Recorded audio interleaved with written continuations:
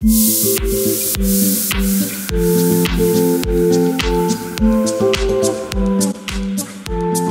kitchen window is facing the neighbor's kitchen windows. There was Chinese food and Jamaican food, and so by addition, we were Chinese Jamaican.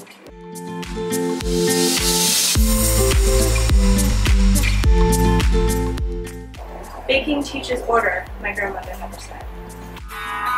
So I was to keep the fire burning. Their